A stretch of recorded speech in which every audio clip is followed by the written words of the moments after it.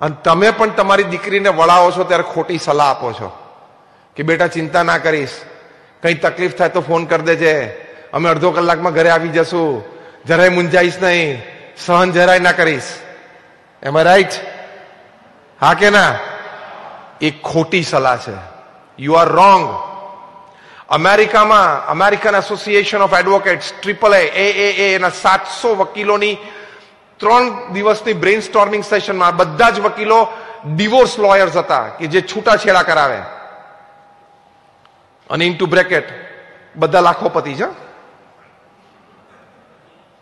એ લોકોના ત્રણ દિવસના બ્રેઇન સ્ટોર્મિંગ સેશન પછી જે કન્ક્લુઝન પેપર તૈયાર થયું, અને યંગ કપલ્સમાં ડિવોર્સિસનું કારણ, એના પાંચ મુખ્ય કારણ એ લોકોએ નક્કી કર્યા. ઓવરઓલ આખા દેશમાં એમાં પહેલું મોટું કારણ over indulgence of mother into her daughters family મોટું કારણ શું? એની માનું સતત દિવસમાં ત્રણ ચાર વખત ફોન કરીને, સારું છે ને? વાંધો નથી ને? આજે શું થયું? તાર સાસુ શું બોલી?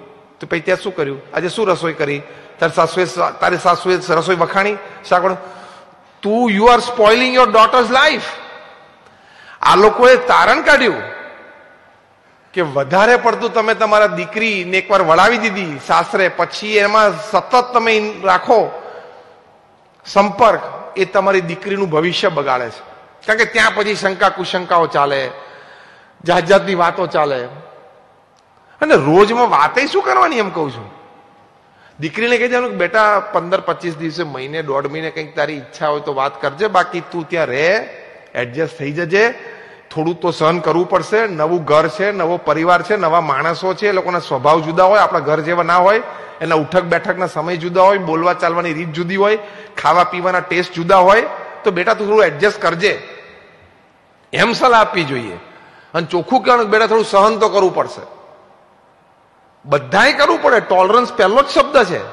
મારી દીકરીને મેં રાજકુંવરીની જેમ મોટી કરી છે. કેમ સહન કરે? અલે અત્યારે પ્રધાનમંત્રી એ રોજની એક ટન ગાળો ખાય છે. તો તાર દીકરી ના ખાય? લોકશાહી દેશમાં પૂર્ણ મેજોરિટી સાથે લોકસભામાં બેઠા છે. પૂર્ણ મેજોરિટી સાથે. તોય ટન ગાળો ખાય છે કે નહીં રોજ? તો એ સહન કરીને કામ કરે છે. એવું શીખવાડવાનું કે બેટા બોલતા બોલવાના તો મળશે જ. તારે તારો એટીટ્યુડ સ્ટ્રોંગ રાખવાનો.